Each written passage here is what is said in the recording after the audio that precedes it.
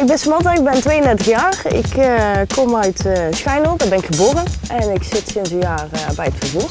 Ja, handje binnenboord. Ik sta s morgens om 5 uur op en ik vertrek om 6 uur. En dan ben ik twee uurtjes ben ik onderweg.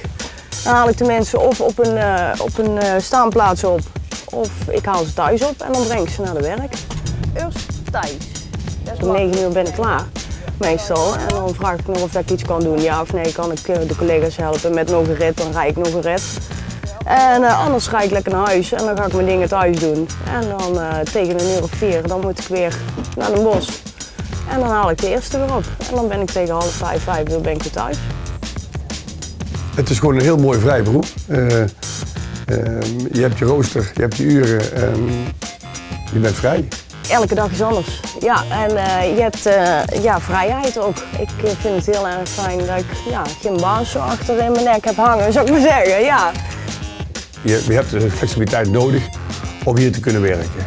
S ochtends tot een uur of negen en dan beginnen ze om 11 uur te rijden tot een uur of één. En dan beginnen ze weer om drie uur te rijden tot een uur of half zes. Mijn contract is voor 18 uur en ik ga dadelijk, als ik mijn taxipas heb, ga ik uitbreiden naar 24. De belangrijkste werkzaamheden van een chauffeur zijn de mensen met een beperking eh, thuis op te halen of die inderdaad te ver weg wonen en geen vervoer mogelijk is thuis op te halen en hier netjes bij WSD neer te zetten. Als ze uh, taxipas hebben, dat ze ook schoolkinderen gaan rijden. Dus uh, ze rijden gedeeltelijk bij WSD en ze rijden gedeeltelijk voor een taxibedrijf. Dit knuffeltje heb ik van een, uh, van een passagier ook gehad.